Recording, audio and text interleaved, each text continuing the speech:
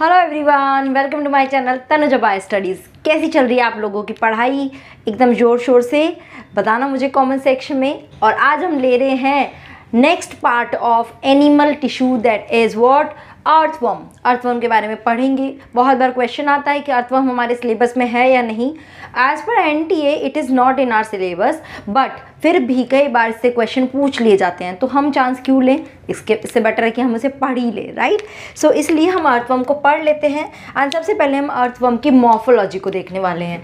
तो सबसे पहले तो इसका थोड़ा सा क्लासिफिकेशन के पॉइंट ऑफ़ व्यू से देख लेते हैं। अगर हम इसका क्लासिफिकेशन करें तो क्या होगा? इसका किंगडम क्या होगा?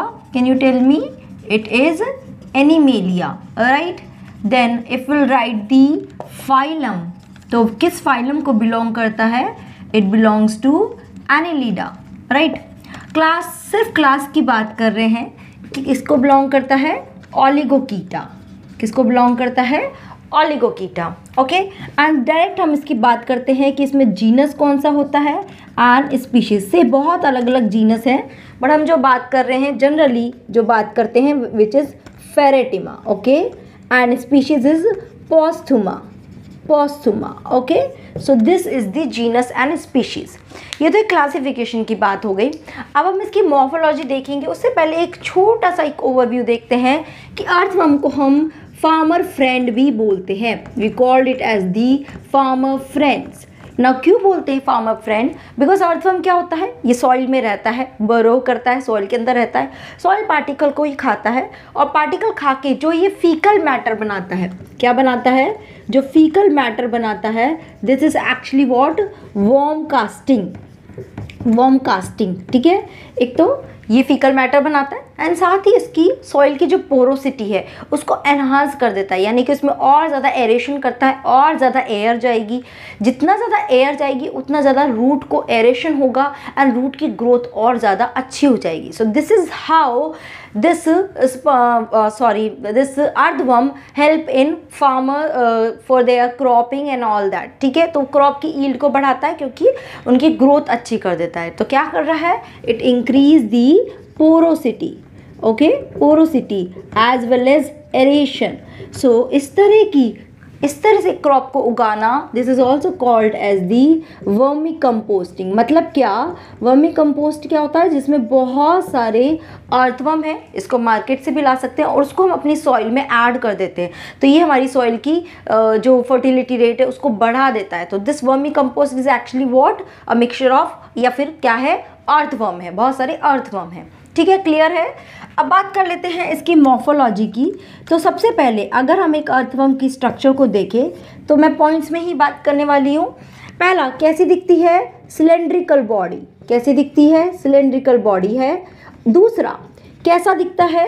Reddish it is looking like a reddish brown in colour अब क्वेश्चन आता है why it is look like red reddish क्यों दिखता है?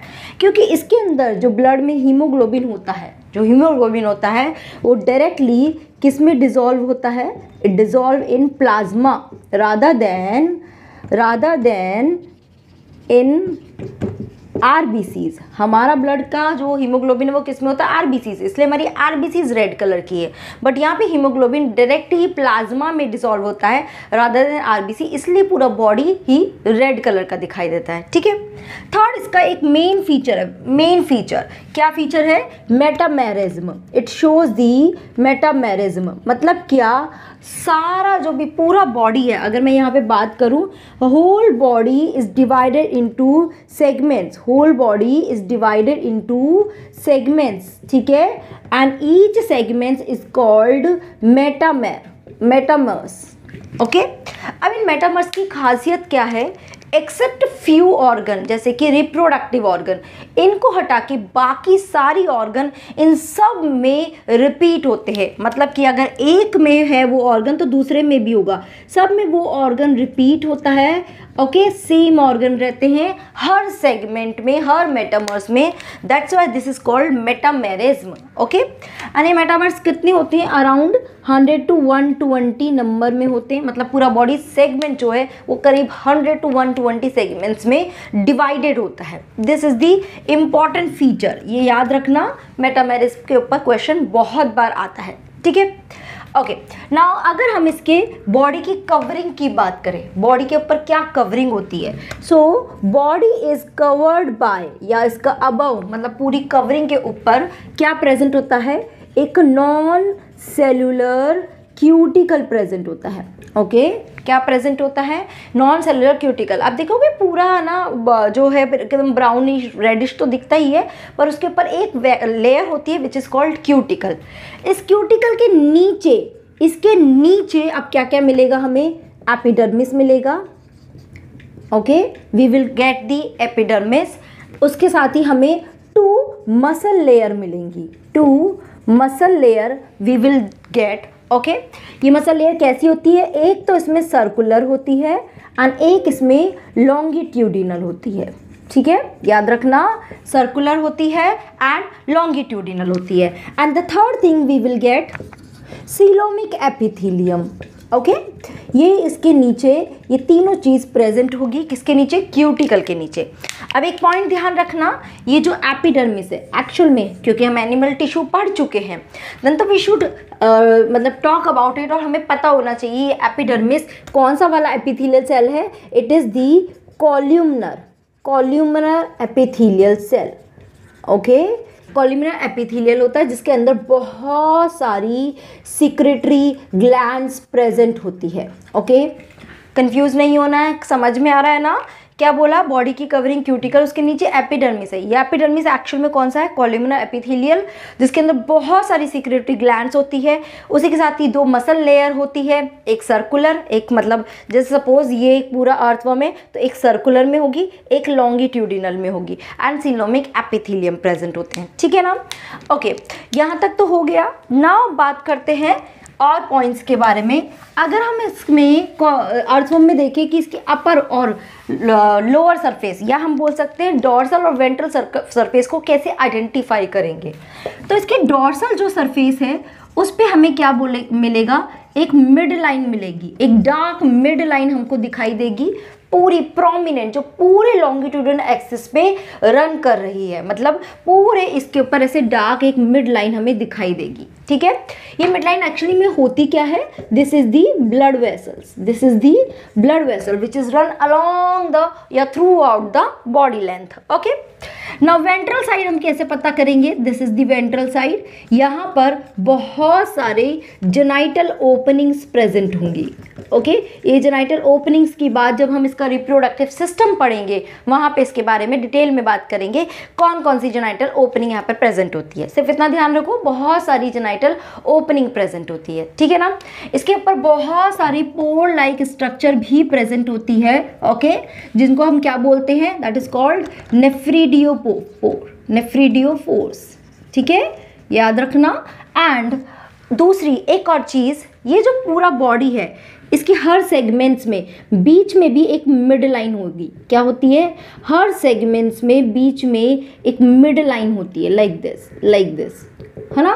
ये जो मिड लाइन है, ये mid line on each segment और उसके भी मिडिल में है है ना? मिडिल में है। This is S shaped and इसको हम क्या बोलते हैं? सीटे। क्या बोलते हैं? Setae. And they help in locomotion okay ये हेल्प करता है लोकोमोशन में। बट ये ना तीन जगह एबसेंट होती है। कौन कौन सी जगह? हमारा जो ये फ़र्स्ट सेगमेंट है लास्ट सेगमेंट ओके एंड एक और segment which is what clitellum clitellum यहाँ पर, इन तीनों सेगमेंट्स में ये सीटें एबसेंट होते हैं। क्वेश्चन आ सकता है, याद रखना। ये क्या होते हैं? सीटें एबसेंट होते हैं। बात करते हैं, ये क्लाइटेलम होता क्या है? उसके बारे में बात करते हैं। So I am rubbing this one यहाँ तक क्लियर हुआ? ठीक है? तो क्लाइटेलम तक आते हैं। सबसे पहले हम इसके फ़र्स्ट पोर्शन की देखते हैं कि फ़र्स्ट पार्ट कैसा होता है।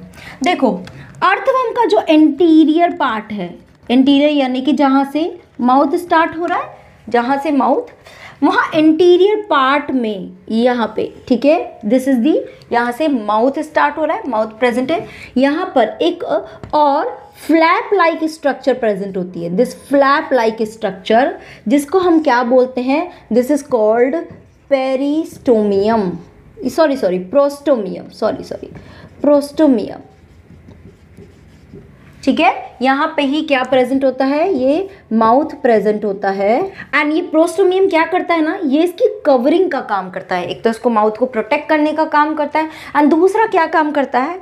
बिकॉज़ अर्थवर्म क्या है? इट्स अ ब्रोइंग एनिमल मतलब ब्रो करता है। सॉइल के अंदर उसको जाना है। अब सॉइल के अंदर जाना है तो this is the mouth this is the mouth and ये क्या है? एक फ्लैप लाइक स्ट्रक्चर है, ऊपर से। एक तो माउथ को प्रोटेक्ट करेगा, कुछ भी चीज़ सीधा माउथ में नहीं जाएगी। एंड दूसरा ये क्या करेगा? सॉइल को ऐसे ऐसे ऐसे ऐसे करके हटाएगा ओके एंड रास्ता बनाएगा। एक वेज की तरह एक्ट करता है प्रोस्टोमियम ताकि वह सॉइल में क्रैक्स क्रिएट करता है और वहाँ में अपना रास्ता बनाता है सो so दैट उसका बॉडी आगे उसमें ट्रैवल कर सके। तो ये बहुत इंपॉर्टेंट रोल प्ले करता है प्रोस्टोमियम क्लियर है? ओके नाउ अब बात करते हैं, इसका जो फ़र्स्ट सेगमेंट होता है, इसका जो बॉडी का फ़र्स्ट सेगमेंट होता है, इसको हम बोलते हैं पेरिस्टोमियम ओके ये याद रखना, इसका क्या रोल है? प्रोटेक्ट माउथ और कवर माउथ आप बोल सकते हो। प्रोटेक्ट की जगह आप कवर भी लिख सकते हो। And act as wedge wedge की तरह एक्ट करता है, यानी क्रैक्स करता है। क्रैक्स इन सॉइल ओके ठीक है? नाउ अब देखो, इस अर्थवर्म के आगे की बॉडी हम बनाते हैं and then I will let you know this first part this first segment is called peristomium. First segment इसको हम बकल सेगमेंट भी बोलते हैं। यानी कि ये क्या है? इस, ये जो माउथ है, ये किसमें ओपन हो रहा है? इसकी बकल कैविटी में ओपन हो रहा है। जैसे हमारा माउथ हमारी बकल कैविटी में ओपन हो रहा है। ऐसे इसका जो फ़र्स्ट सेगमेंट है दिस इज़ कॉल्ड पेरिस्टोमियम जहाँ पे बकल सेगमेंट ओपन हो रहा है। This is the buccal segment ठीक है? ओके एंड इसी के साथ ही इसका लास्ट पार्ट जो अगर हम बात करें दिस लास्ट सेगमेंट ये लास्ट सेगमेंट क्या होता है? This is the anus right तो क्या हुआ? लास्ट सेगमेंट इज़ एनस ठीक है? आप यहाँ पे देखते हैं, इसका fourteenth fifteenth and sixteenth segment okay तो यहाँ पे बीच में कहीं ये फोर्टीन फिफ्टीन एंड सिक्सटीन कौन कौन सा? फोर्टीन फिफ्टीन एंड सिक्सटीन ये पूरा एक सेगमेंट होता है जिसको हम क्या बोलते हैं? क्लाइटेलम ओके okay, क्या बोलते हैं? Clitellum this is the actually segment जहाँ पर क्या होगा? फर्टिलाइजेशन होता है। okay? Here, fertilization takes place and which results in formation of cocoon. और जहाँ पे क्या बनता है? कोकून जिसके अंदर बेबी अर्थवर्म्स बनते हैं, बहुत सारे बेबी वॉर्म्स बनते हैं। तो ये ध्यान रखना, क्या बोलते हैं इसको? Clitellum okay clitellum fine 14 15 16 segment ना on the position of this clitellum the whole body whole body divided into three parts तीन पार्ट्स में पूरी बॉडी डिवाइड होती है। क्या क्या बोलेंगे? These three parts one is preclitellar okay यानी कि यानी कि क्या हो गया? वन से थर्टींथ तक का जो सेगमेंट है दैट इज़ प्री क्लाइटेलर फिर आ जाएगा क्लाइटेलर इसमें हमारा क्या है? Fourteen to sixteen segment and third is postclitellar okay okay? जिसमें सिक्सटीन से एंड टिल मतलब जो भी, जितने भी सेगमेंट्स है, उतने सेगमेंट्स इसमें कवर होते हैं। क्लियर है ना? Preclitellar clitellar and post क्लाइटेरा ठीक है? क्या बात करी? सिलेंड्रिकल बॉडी है कवरिंग क्या है?